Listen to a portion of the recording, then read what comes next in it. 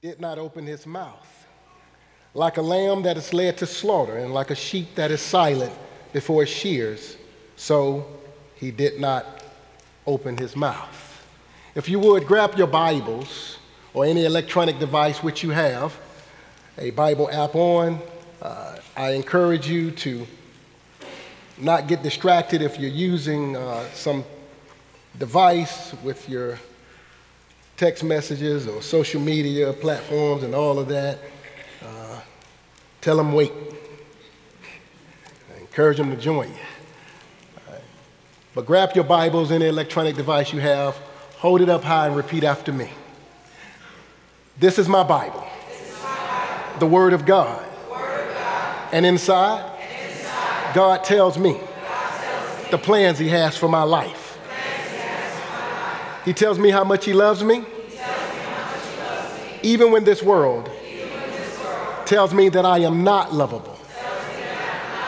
And I shall be all that God desires for me to be.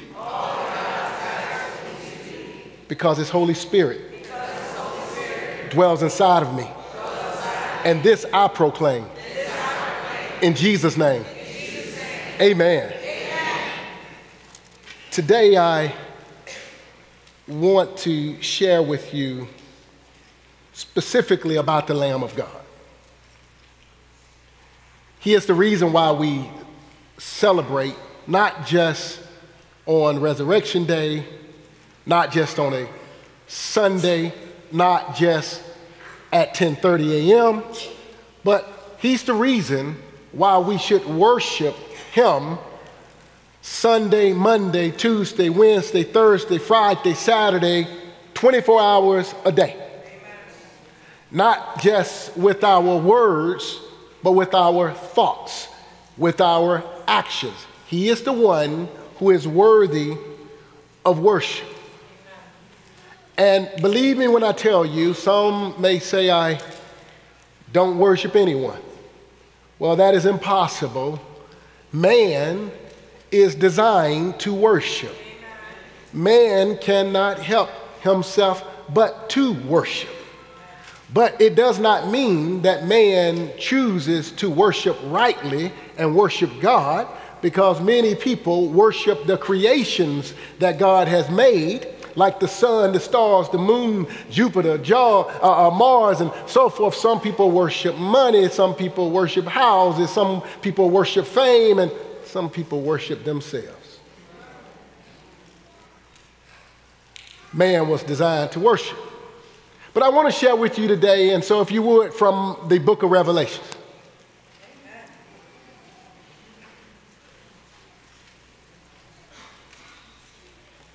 In the book of Revelations, chapter 5, and I ask that you read it with me, and we're going to, going to um, highlight two of these verses.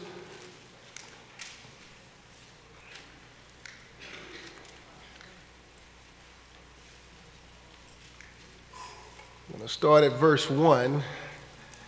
And it says in Revelations 5, and uh,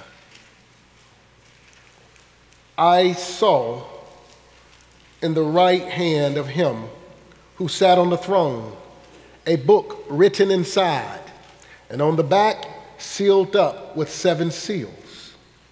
And I saw a strong angel proclaiming with a loud voice, who is worthy to open the book and to break its seals?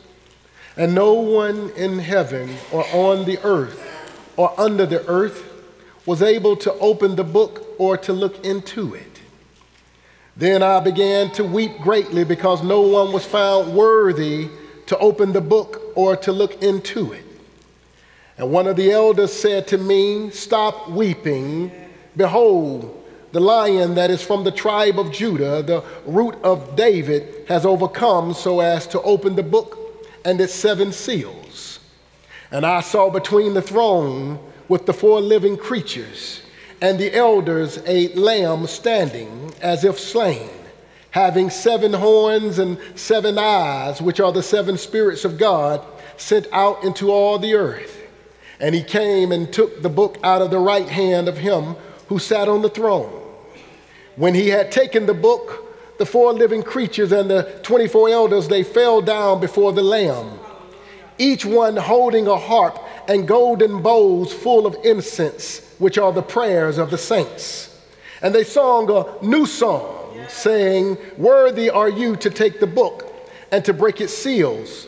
For you were slain and purchased for God with your blood men from every tribe and tongue and people and nation.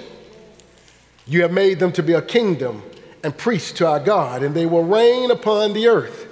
And then I looked and I heard the voice of many angels around the throne and the living creatures and the elders, and the number of them was uh, myriads and myriads and thousands of thousands, saying with a loud voice, Worthy is the Lamb that was slain to receive power and riches and wisdom and might and honor and glory and blessing. And every created thing which is in heaven and on the earth and under the earth and on the sea and all things in them, I heard saying to him who sits on the throne and to the Lamb be blessing and honor and glory and dominion forever and ever. And the four living creatures kept saying, Amen. And the elders fell down and worshiped. And, and today I just want to talk with you just for a little while about man made marks. Earlier, when we were beginning to express our faith to the Lord through the Lord's Supper, I shared with you that Jesus Christ died on the cross for you and my sins. It's the reason why I read to you as soon as the video went off from Isaiah chapter 53, verse 7. It is one of the places in the Old Testament where Jesus Christ is referred to as the Lamb of God. In fact, Jesus is referred to as the Lamb of God at least twice in the Old Testament, including the book of Jeremiah. Jesus Christ was prophesied to actually live not only a sinless life, but to die on the cross for your and my sins. Yes, Jesus is a gift from God. John 3:16 says, For God so loved the world that he gave his only begotten Son, that whosoever believeth in him shall not perish but have everlasting life. God gave his only begotten Son, Jesus Christ, for you and I. Jesus Christ died on the cross for our sins and in our place. He is a gift that allows us to be put back into a rightful relationship with God the Father, a relationship that was severed when Adam, in the book of Genesis, Adam was Adam represents all mankind. He was created in the image of God, but when Adam sinned, Adam broke up the relationship that he had with God the Father. Now, listen, this, remember earlier I was talking about position and fellowship. Adam had a position and he had fellowship with God. When Adam sinned, the relationship he had with God was severed, and Adam lost not only his position, but also his ability to have fellowship with God. But God is so good. And none of it was a surprise to God. That God provided a gift. Now, in the Old Testament, when a person sinned, they would make sacrifices. The sacrifice included a lamb, a lamb that had to be without a flaw, without a blemish, no spots. And that lamb was sacrificed on behalf of a person or person's sins. But you know what? A person had to keep coming back. Why? Because we have a proclivity to sin. And it may have helped us fellowship wise for a little while, but it did not keep us in a permanent position, relationship wise, with God. God has a solution. The solution is in the person of God Himself, God the Son, which is Jesus Christ. So, God the Son, who was introduced to humanity in Bethlehem, when we, we talk about him being born in Bethlehem, that is the solution that God gave a perfect lamb, the Lamb of God, without a spot, blemish, or wrinkle. And when he died on the cross, he provided us not only the uh, opportunity to uh, be in a permanent relationship with God, but he gave us an opportunity to have fellowship with him. This was prophesied about so many times throughout the Old Testament and including the New Testament. Well, some people thought that when Jesus Christ died on the cross and they buried him, they thought it was over. Oh, they thought it was over. In fact, they quickly found that wasn't true because hundreds of witnesses saw him. So many people came to rightfully believe that Jesus Christ rose from the grave. But I want to talk to you a little bit further, not just about his death, his burial, his resurrection, but I need you to know he did not get up just to get up to show off that he got up. But even right now, he's on the right hand of the Father because he returned back to his state of his, his environment of glory. And you, you have to bear in mind when Jesus came here and dwelt amongst man, he put on humanity. He put on a uniform of humanity, but he's on the right hand of God the Father, and even now he's interceding on your and my behalf. But he's not just interceding for us, he's also preparing a place for you and I. Oh, but that's not the end of it. He's also going to return, which means one has to be ready when he returns. We have to be in a relationship with God the Father, and the only way to be in a relationship with God the Father is through Jesus, because in the Gospel of John, chapter 14, Jesus Christ says that I am the way, the truth, and the life. No one comes to the Father except through me. So I don't want anyone to leave here saying, well, you know, I heard that preacher say, and I've heard it said many times, that I have to accept Jesus Christ, but I have another way. I'm a really good person. I am a good person. I do right by people. I do right by my mama. I do right by my daddy. I do right by my siblings. I do right by my friends, my coworkers. And not only do I do right by people, I show up at work on time, five minutes ahead. I work hard. I give them more than they give me. Not only that, I serve in my community. I, am a community uh, activist. I help with all kind of things. I volunteer my time. I also work at, listen, I work at the assisted living. I, I, I, take care of little babies. I help the older ladies across the street. I do everything right. I don't lie even when it would be convenient for me. I go to church every Sunday. I dress the part. I put on the shoes. I put on the outfit. I groom. I prepare myself to go to church. I sing songs that are called gospel songs, Christian songs. I know scriptures. Well, let me warn you Satan knows scripture. he blurred and blended it on a few occasions. The only reason he was able to blur and blend it was because he knew the real deal. So you got to know the real thing in order to make a counterfeit something. Some say, I know songs. Just because you know a song doesn't mean you know the person that you're singing about. Just because you know scripture doesn't mean that you know who the scripture is talking about. Just because you know that Jesus Christ died on the cross for you and was buried and rose from the grave does not mean that you have put your faith. Faith is a combination of belief and trust in Him. So, knowing about Him is not going to give you access to God the Father. No matter how much you know, and you can have a listen, you can have a seminary degree. You do not go to heaven because you have a bachelor's or a master's or a, a, a doctorate degree in theology of divinity. Not those things.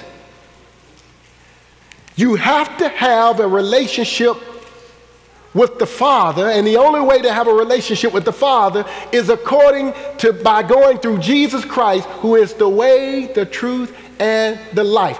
Putting your faith in the fact that Jesus Christ died on the cross for your and my sins. Well, why did he die on the cross for you and my sins? Because we are sinners. And you may not have robbed a bank. You may not have even stolen a pack of nail laters. You may not have lied.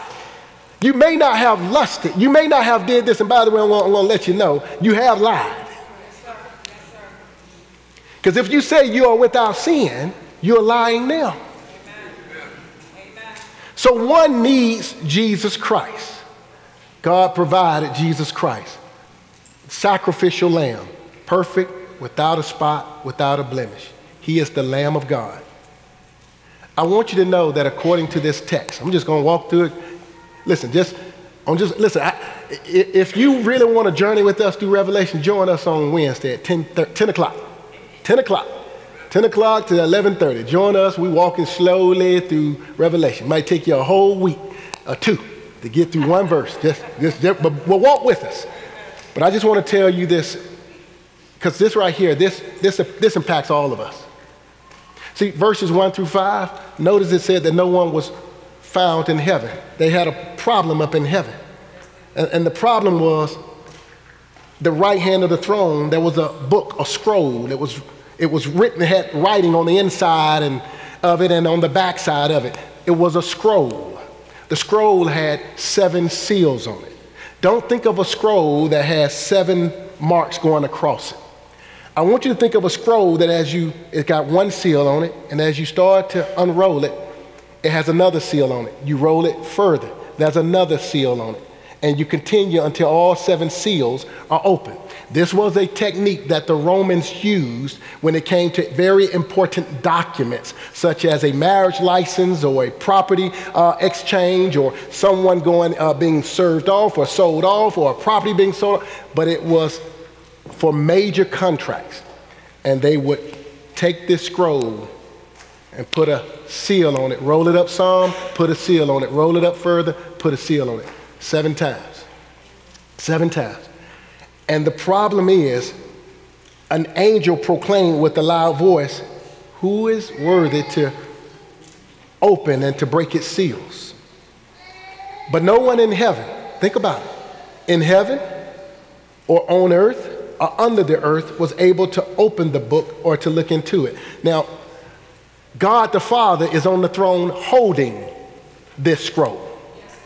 An angel asks who is worthy to open it.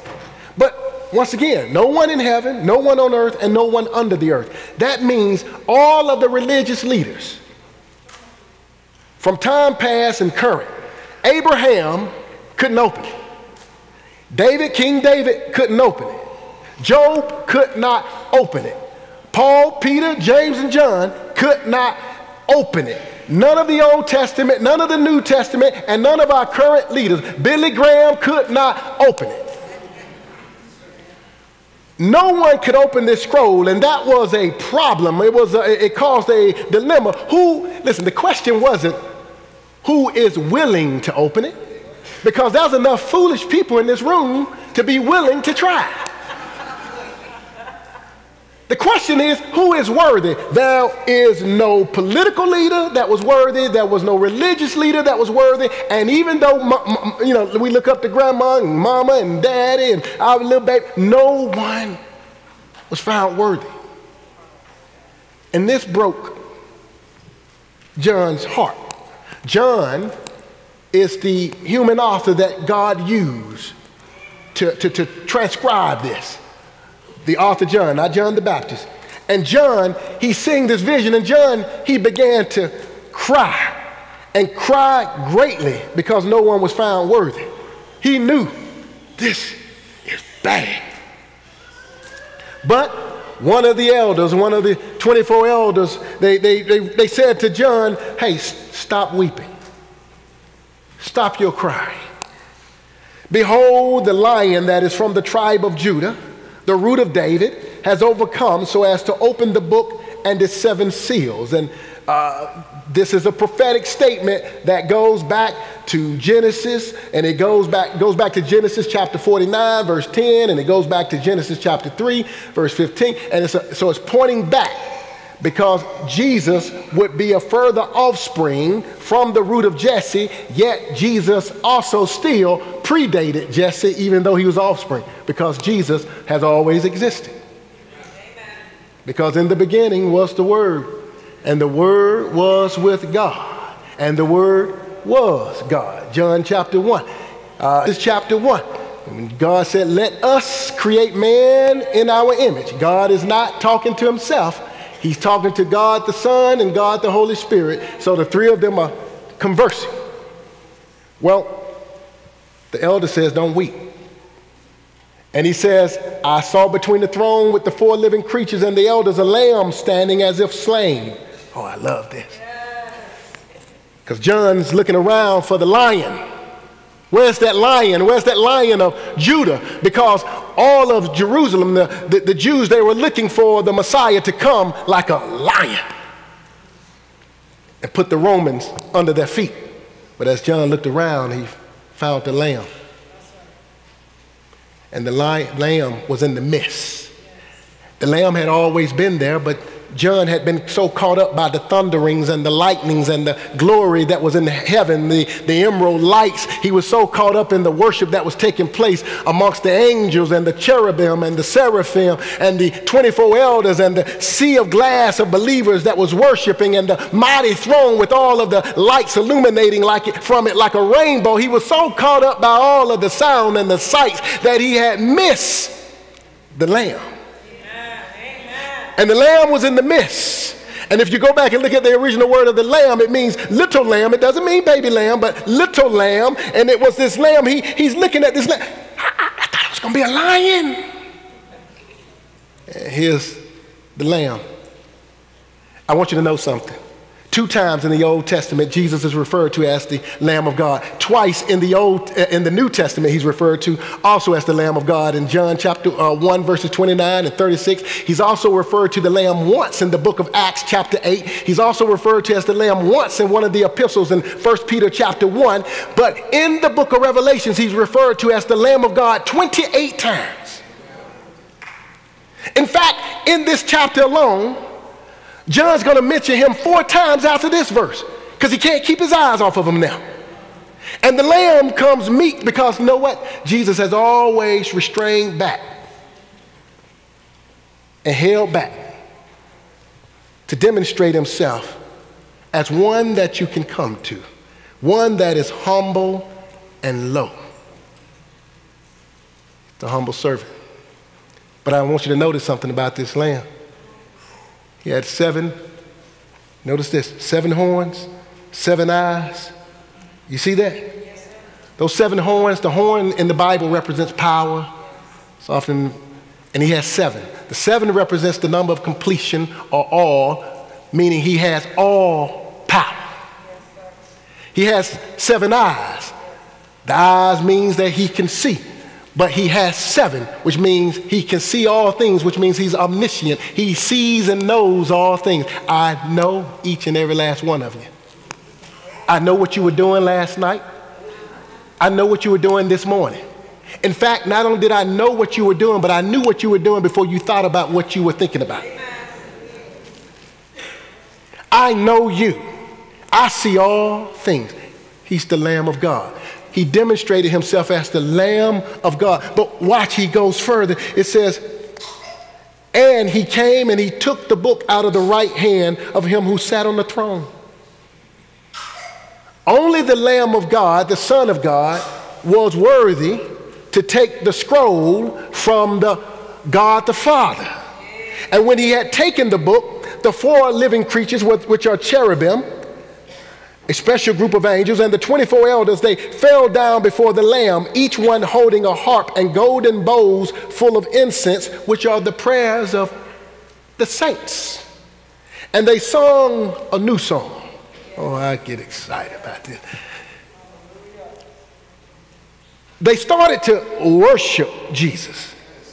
Now, some people say, well, hold up, why are they worshiping him? Because he's God. He's God the Son. If someone ever told you Jesus is not God, then why are they worshiping God the Son when God the Father is right there? And if to worship anyone else but God the Father, according to the text, would be a form of blasphemy, which is a sin, but God the Father is pleased with the worship of God the Son. And they bowed down and started to worship him, the elders and the cherubim. But I want you to notice something. They started to sing a new song. It's a song that has not yet been sung. Here's, here's, the thing they didn't know the song, but they got a new song. And in just a moment, watch, other people join in. I mean, others join in in the new song, not people, beings. So you got the elders, you got the cherubim, and they began to sing this new song. And, and in verse, uh, let me just go right here. Worthy are you to take the book and to break his seal. For you were slain and purchased for God with your blood from every tribe and tongue and people and nation. You have made them to be a kingdom and priests to our God, and they will reign upon the earth. Now, notice something. They said, You were slain and purchased for God with your blood, men from every tribe and tongue and people and nation. Now, go back to verse 6. And I saw between the throne with the four living creatures and the elders a lamb standing as if slain, having seven horns and seven eyes, which are the seven spirits of God sent out into all the earth. Did you miss something? There was a lamb standing. Did you not hear that Jesus Christ died on the cross? And they buried him, and some thought it was over. But the text says here he was standing. If you dead, you don't stand. He's standing, but notice something else. It says he's standing, and yet it says as if slain, he has the marks of the crucifixion on him.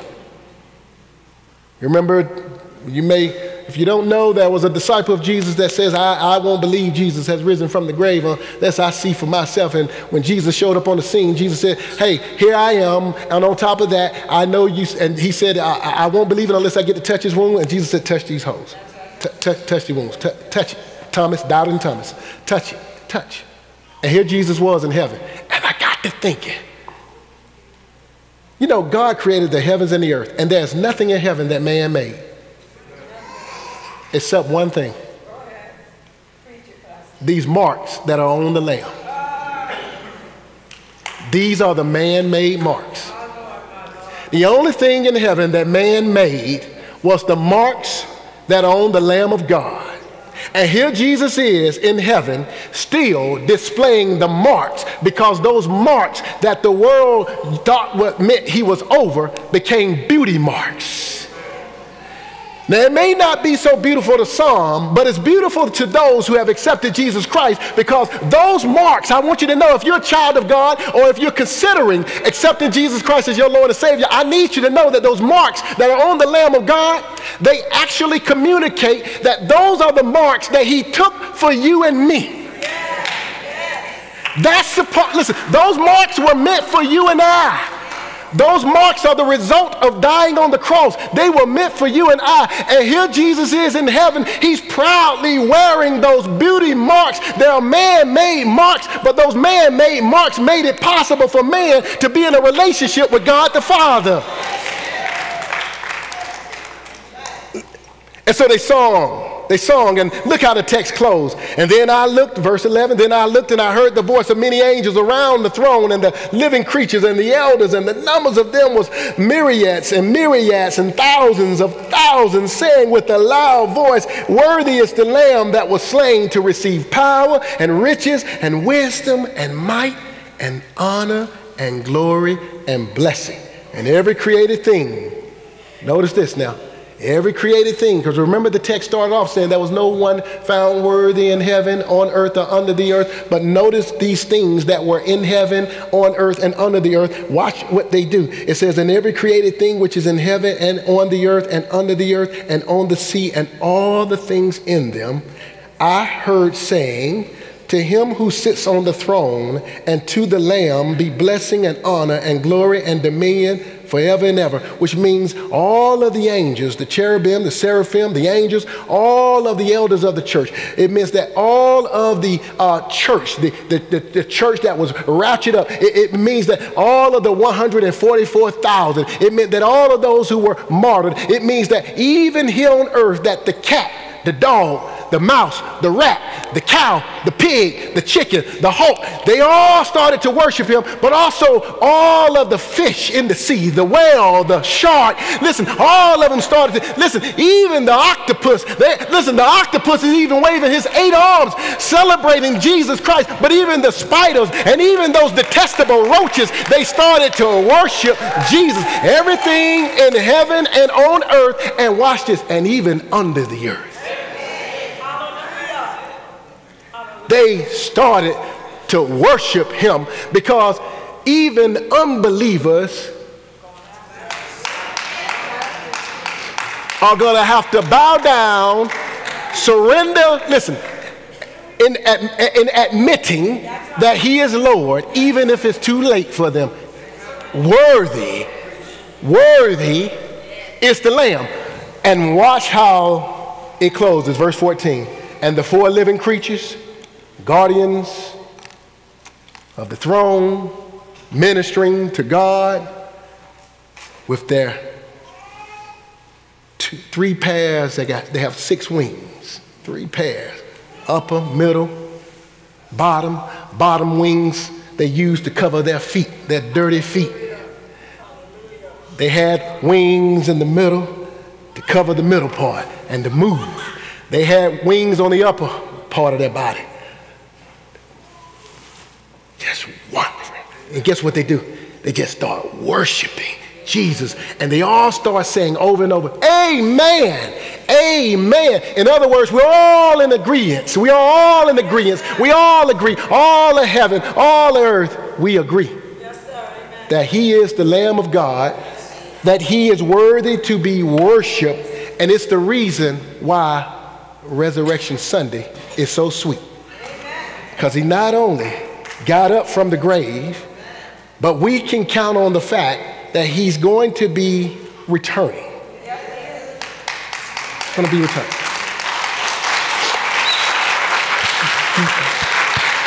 We can be excited by the fact that those marks that are displayed on him, that he chooses to wear like a badge of honor, is because he loves you and I. And so, if you don't mind, with all eyes closed and all heads bowed, we're going to continue to worship, but I want you to worship through response. Just want you to respond. One, in just a moment, I'm going to ask you to stand. But I want you to know that the altar is a place where you can come and kneel and pray. I also want you to know that this church would love to see you if you're not in a relationship with God the Father through His Son, Jesus Christ, which is the only way. We would love to see you take advantage of that opportunity today. So I'm going to ask you to do this with all eyes closed, all heads bowed. You have heard that it is necessary to admit that we are a sinner. It is necessary to believe that Jesus Christ is the Son of God who died on the cross for our sins. And the Bible says that if we confess Jesus Christ as Savior and as Lord of our life, putting our faith in Him, the Bible says that we will be saved. No strings attached if we genuinely come to Him. So with all eyes closed and all heads bowed, in just a moment, I'm going to ask you to raise your hand if you have accepted Jesus Christ. But first, let me pray. Father, in the name of your Son, Jesus Christ, I pray, Father, for that person or those persons who are making a decision to accept Jesus Christ as their Savior. I pray, dear Lord, that they would be bold enough to just raise their hand above their head. And Father, I pray, dear Lord, that you would just uh, guide them and, and prevent them, Father, from being distracted by a person sitting next to them. I pray, Father, that you prevent them from feeling ashamed, but to act in, a, in an expression of boldness, dear Lord, just as boldly as you demonstrate those marks on your body, demonstrating your love for us. And Lord, I pray, Father, for those who are seeking, already in a relationship with you, but who are seeking to come closer to you in fellowship. We pray for those also.